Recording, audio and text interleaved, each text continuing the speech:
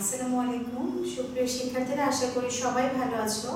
National ideal girls কলেজের পক্ষ থেকে আমি ফারজান আহমেদ, প্রভাষক গার্হস্থ্য বিজ্ঞান বিভাগ। আজকে তোমাদের সবাইকে আমাদের অনলাইন ক্লাসরুমে স্বাগত জানাচ্ছি। আজকে গার্হস্থ্য বিজ্ঞান বিষয়ে যারা আমার সঙ্গে ক্লাস করছ, প্রিয় শিক্ষার্থীরা, অবশ্যই বইটি সামনে নিয়ে বসবে। আমরা গত কয়েকদিন ধরে নবম অধ্যায় শুরু করেছিলাম। সেখানে আমরা খাদ্যের বিভিন্ন উপাদান সম্পর্কে জেনেছি, শ্রেণি বিভাগ আলোচনা করেছি। আজকে আমরা অত্যাবশ্যকীয় ফ্যাটি অ্যাসিড এই বিষয়টি নিয়ে আলোচনা করব। শিক্ষার্থীরা তোমরা জানো, খাদ্যের একটি গুরুত্বপূর্ণ উপাদান ফ্যাট যা আমাদের সর্বোচ্চ পরিমাণ তাপ ও শক্তি সরবরাহ করে। ফ্যাট ভেঙে প্রথমে ফ্যাটি অ্যাসিড ও পরে গ্লিসারলে উৎপন্ন হয়। আজকে আমরা ফ্যাটি অ্যাসিডের মধ্যে অত্যাবশ্যকীয় ফ্যাসিড ফ্যাটি অ্যাসিডগুলো কি এবং দেহে এর অভাবজনিত কুফলগুলো কি এবং দেহে কি কি কাজ করে থাকে এই বিষয়গুলো নিয়ে আলোচনা করব। অবশ্যই আমার সঙ্গে বোর্ডের দিকে সবাই লক্ষ্য করবে। আর আমি তোমাদেরকে তোমাদের পৃষ্ঠা নাম্বার বলছি। তোমাদের পৃষ্ঠা নাম্বার হচ্ছে একশো সাঁত্রিশ বইটি বের করবে সবাই। বোর্ডের দিকে লক্ষ্য করো। আমাদের আজকের আলোচ্য বিষয়, অত্যাবশ্যকীয় fatty acid essential fatty acids অত্যাবশ্যকীয় ফ্যাটি অ্যাসিড বলতে বোঝায় যে সকল ফ্যাটি অ্যাসিড দেহে প্রস্তুত হতে পারে না, অথচ এর অভাবে দেহের কার্যাবলী বিঘ্নিত হয় এবং অবশ্যই খাদ্যের সাথে গ্রহণ করতে হয়। প্রিয় শিক্ষার্থীরা লক্ষ্য করো আমাদের মধ্যে একটি প্রচলিত ধারণা আছে যে ফ্যাট আমাদের অতিরিক্ত দেহে মেদ জমিয়ে ফেলে বা আমরা বেশি ফ্যাট গ্রহণ করলে আমাদের দেহ মোটা হয়ে যেতে পারে আমাদের চর্বিবহুল আহ, হয়ে যেতে পারে আমাদের শরীর। কিন্তু অত্যাবশ্যকীয় ফ্যাটি অ্যাসিডগুলো কিন্তু আমাদের দেহের প্রয়োজনীয় অভ্যন্তরীণ কার্যাবলী নিয়ন্ত্রণে গুরুত্বপূর্ণ ভূমিকা পালন করে। আর এই ফ্যাটি অ্যাসিডগুলো দেহে প্রস্তুত হতে পারে না। প্রিয় শিক্ষার্থীরা লক্ষ্য করো কিন্তু এই ফ্যাটি অ্যাসিডগুলোর অভাবে দেহের কার্যাবলী বিঘ্নিত হয়। এই জাতীয় ফ্যাটি অ্যাসিডগুলো কি অপরিহার্য বা অত্যাবশ্যকীয় ফ্যাটি অ্যাসিড বলে? অত্যাবশ্যকীয় ফ্যাটি অ্যাসিডগুলো নিয়ে আমি আগেই বলেছিলাম, আজকে আবারও নামগুলো বলছি। Linoleic acid linolenic fatty acid আর একটা হচ্ছে আর্কিডোনিক অ্যাসিড এই তিনটি হচ্ছে অত্যাবশ্যকীয় ফ্যাটি অ্যাসিড প্রিয় শিক্ষার্থীরা, অত্যাবশ্যকীয় ফ্যাটি অ্যাসিড যে কাজগুলো, এই কাজগুলোর দিকে দেখো সবাই। দেহ থেকে তাপের অপচয় রোধ করে। আমাদের, আমরা জানি আমাদের দেহে এক গ্রাম ফ্যাট আমাদের দেহে নয় কিলো ক্যালোরি শক্তি উৎপন্ন করে। আর যখন প্রয়োজনীয় ফ্যাট দেহ পায় না, আমরা যখন প্রয়োজনীয় ফ্যাট জাতীয় উপাদান দেহ আমরা যখন গ্রহণ করি না, তখন কিন্তু আমাদের শরীর অন্যান্য খাদ্য উপাদান থেকে শক্তি গ্রহণ করে তার প্রয়োজনীয় তাপশক্তি সরবরাহ করে থাকে। সেক্ষেত্রে দেহ থেকে তাপের অপচয় রোধ করে অত্যাবশ্যকীয় ফ্যাটি অ্যাসিড যখন আমাদের দেহের প্রয়োজনীয় তাপের দরকার হয়, সেই তাপ যেন অপচয় না হয়ে যায়, সেটা ফ্যাটি অ্যাসিডের কাজ। ত্বকের বা চামড়ার মসৃণতা আনয়ন করে। এখন তো একটু একটু শীত পড়েছে, মোটামুটি ভালোই শীতকাল চলে এসেছে।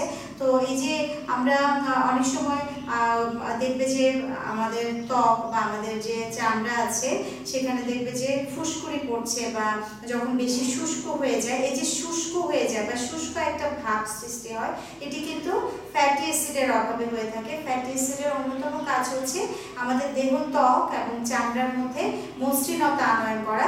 যদি আমাদের দেহ প্রয়োজনীয় ফ্যাটি অ্যাসিডের উপাদানের ঘাটতি হয় বা উৎপন্ন হতে না পারে, তখন কিন্তু আমাদের বাইরে থেকে অবশ্যই আমাদেরকে কি করতে হয়? শরীরে যখন আমাদের ঘাটতি হয়ে যায় আমরা আমাদের ত্বকে আলাদাভাবে আমরা বিভিন্ন তৈল বা তেল জাতীয় পদার্থের প্রয়োগ করে থাকি, যেটা আমাদের আবার চামড়ার মুখকে মসৃণ হতে সাহায্য করে। এই যে তাম চকে বা চামড়ার যে মসৃণতা, যখন অত্যাধিক শুষ্ক ভাব শুরু হয়ে যায়, তখন কিন্তু এক ধরনের রোগ হয়, যেটাকে কিটোসিস বলা হয়। তাহলে এই কিটোসিসটা হচ্ছে চর্মরোগ, যে চর্মরোগের হাত থেকে অত্যাবশ্যকীয় ফ্যাটি অ্যাসিড দেহকে রক্ষা করে। দেহের কোষ গঠন, তোমরা জানো, কোষ কলা বা কোষতন্ত্রের মূল উপাদান হচ্ছে ফ্যাট চর্বিতে দ্রবণীয় যে ভিটামিন ক্যারোটিন এগুলো শোষণে সাহায্য করে। চর্বিতে দ্রবণীয় ভিটামিনগুলো তোমরা জানো আমরা মোট ছয়টি ভিটামিনের নাম জানি। একটা হচ্ছে পানিতে দ্রবণীয় ভিটামিন, যেখানে দুইটি ভিটামিন অন্তর্ভুক্ত, ভিটামিন বি কমপ্লেক্স এবং সি। আর চর্বিতে দ্রবণীয় আছে চারটি vitamin vitamin A, D, E, K.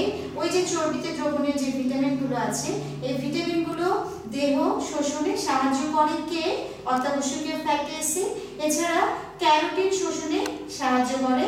তাপের সমতা শিক্ষার্থীরা ক্যারোটিন তোমরা জানো ভিটামিন ই এর রাসায়নিক নাম হচ্ছে ক্যারোটিন সেই ক্যারোটিন শোষণে সাহায্য করে। তাপের সমতা রক্ষায় কিন্তু ফ্যাটি অ্যাসিড সাহায্য করে। ফ্যাট আমাদের দেহে সঞ্চিত হিসেবে থাকে, শক্তির অভাবে ফ্যাট ভেঙে শক্তি উৎপন্ন করে। শক্তির অভাবে বলতে আমাদের দেহে যখন প্রয়োজনীয় অন্য উপাদানগুলো, যেগুলো তাপ শক্তি সরবরাহ করে কার্বোহাইড্রেট এবং প্রোটিন যখন দেহ পর্যাপ্ত কার্বোহাইড্রেট এবং প্রোটিন গ্রহণ করতে পারে না বা আমরা যখন সরবরাহ করতে পারি না, তখন কিন্তু অত্যাবশ্যকীয় ফ্যাটি অ্যাসিডগুলো যেটা সঞ্চিত হিসেবে থাকে আমাদের দেহে, সেটা কি করে? আমার সেগুলো ভেঙে ফ্যাটকে ভেঙে শক্তি উৎপাদন উৎপন্ন করতে সাহায্য করে। তাহলে ফ্যাটি অ্যাসিডের অভাবে কি কি সমস্যা হয় লক্ষ্য করবে প্রিয় শিক্ষার্থীরা শিশুদের বৃদ্ধি ব্যাহত হয়। একজিমা হয় একজিমা হচ্ছে এক ধরনের চর্মরোগ। একজিমা হয় ফসফোলিপিড সংশ্লেষণ ব্যাহত হয়। ফসফোলিপিড কি আমি তোমাদের বিগত ক্লাসে বলেছি। প্রয়োজনীয় অ্যাসিডের অভাবে রক্তে কোলেস্টেরল বেড়ে যায়। প্রয়োজনীয় ফ্যাটি অ্যাসিড আমি তোমাদেরকে বলেছি যে ফ্যাটি অ্যাসিডের মধ্যে সম্পৃক্ত ফ্যাটি অ্যাসিড অসম্পৃক্ত ফ্যাটি অ্যাসিড দুই ধরনের ফ্যাটি অ্যাসিড রয়েছে। অসম্পৃক্ত ফ্যাটি অ্যাসিড এবং সম্পৃক্ত ফ্যাটি অ্যাসিড দুটোই যদিও আমাদের আমরা অসম্পৃক্ত ফ্যাটি অ্যাসিডগুলো মাছের তেলে থাকে, যেটা আমাদের দেহের জন্য খুব বেশি পরিমাণে প্রয়োজনীয়। সেটা আমাদেরকে কি করে? আমাদের কোলেস্টেরলের মাত্রা কমাতে কিন্তু সাহায্য করে।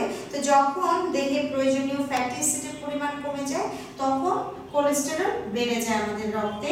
যকৃতে স্নেহ পদার্থ থেকে ফসফোলিপিড উৎপাদন হ্রাস পায়। যেহেতু ফসফোলিপিড রূপে যকৃত আগত ফ্যাট তখন অন্যত্র চালিত হয় তাই অতিরিক্ত চর্বি আমাদের যকৃতকে ভারাক্রান্ত করে ফেলে। তো প্রিয় শিক্ষার্থীরা আমাদের যে একটি প্রচলিত ধারণা রয়েছে যে যত ফ্যাট জাতীয় খাবার আছে বা যত চর্বি জাতীয় খাবার আছে সব কিছুই দেহের জন্য ক্ষতিকর। বিষয়টি আসলে তা নয়। আমাদের চর্বি জাতীয় খাবারগুলো বুঝে খেতে হবে। আমাদের যে প্রয়োজনীয় কিছু ফ্যাট জাতীয় উপাদান, আমরা জানি সম্পৃক্ত ফ্যাটি অ্যাসিড অসম্পৃক্ত ফ্যাটি অ্যাসিড এবং প্রথম শ্রেণি স্নেহ দ্বিতীয় শ্রেণি স্নেহ আমি তোমাদের সঙ্গে আলোচনা করেছিলাম। আজকে আবার অত্যাবশ্যকীয় ফ্যাটি অ্যাসিড নিয়ে আলোচনা করেছি। আমরা পরিচিত কিছু ফ্যাটি অ্যাসিড আছে বা আমাদের যে অসম্পৃক্ত ফ্যাটি অ্যাসিড মাছের তেল বিশেষ করে যেখানে ওমেগা ফ্যাট আছে, সেটা আমাদের শরীরের জন্য খুব ভালো। তাছাড়া আমরা বাদামের তেল, তারপর আমাদের যে আরও কিছু উদ্ভিজ্জ উপাদান থেকে আমরা যে তেল জাতীয় খাবারগুলো পেয়ে থাকি, সেগুলো কিন্তু আমরা গ্রহণ করতে পারি, যেটা আমাদের শরীরের জন্য খুব বেশি গুরুত্বপূর্ণ এবং আমাদের শরীরকে সুস্থ রাখতে, আমাদের দেহের কোষ গঠনে আমাদের সহায়তা করে থাকে এই উপাদানগুলো।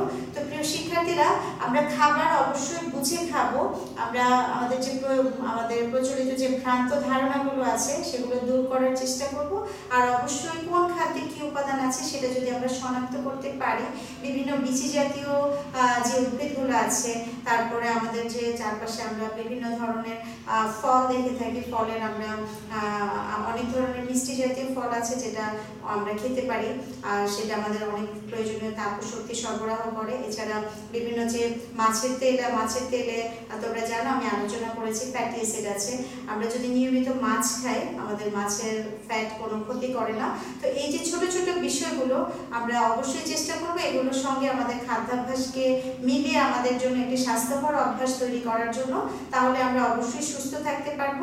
তো আজকে এ পর্যন্তই ক্লাস আমি সংক্ষিপ্ত আলোচনা করলাম। তোমরা অবশ্যই ফ্যাটি অ্যাসিডের কাজ আর বিগত কয়েকদিন ধরে ফ্যাট নিয়ে আলোচনা করেছি ফ্যাটের বিভিন্ন শ্রেণি বিভাগ নিয়ে আলোচনা করেছি, সেগুলো সম্পর্কে তোমরা অবশ্যই বিস্তারিত বই থেকে দেখবে।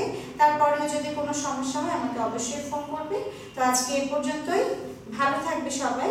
আল্লাহ হাফেজ।